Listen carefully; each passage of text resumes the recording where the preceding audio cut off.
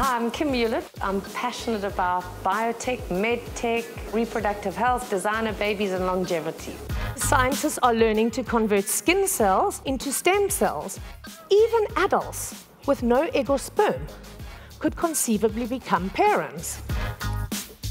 Now, if you've already got those embryos, the healthy ones, come on, wouldn't you be inclined just to choose the better looking one?